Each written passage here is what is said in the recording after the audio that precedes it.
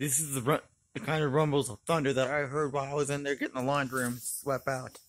Because this storm is exactly why my trailer is tilted.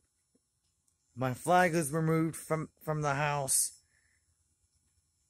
And my unwanted utility pole that I was that I built while dad was still on Gracie's surgery is removed.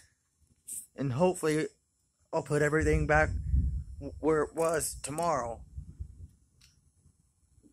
When this storm is over.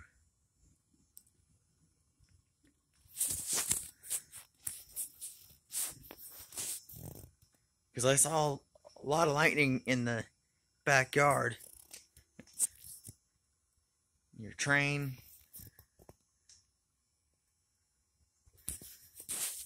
This is the, the kind of storm that we had when when Dad and I got up and Cheryl was still asleep.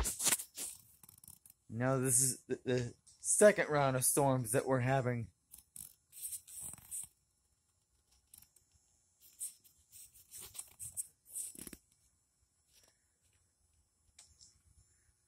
When I came out here, Django was all wet.